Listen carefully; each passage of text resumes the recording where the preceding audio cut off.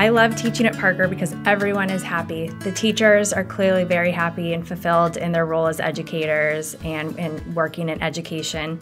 The students are incredibly happy. They're learning through play every day. You can see it on their faces. They're all very calm and just excited to be at school daily. Um, we as teachers play a vital role in the unique upbringing of each student and play kind of a second parent to these children seven plus hours a day.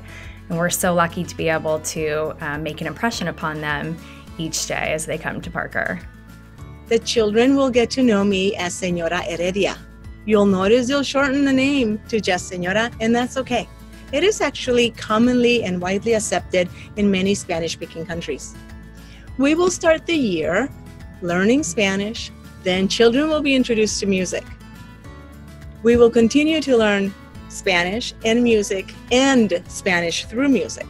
Once the children are comfortable with Spanish, I will add art elements to our Spanish lessons and we will start making colorful art connections using Spanish vocabulary. Hi everyone, welcome to Francis Parker.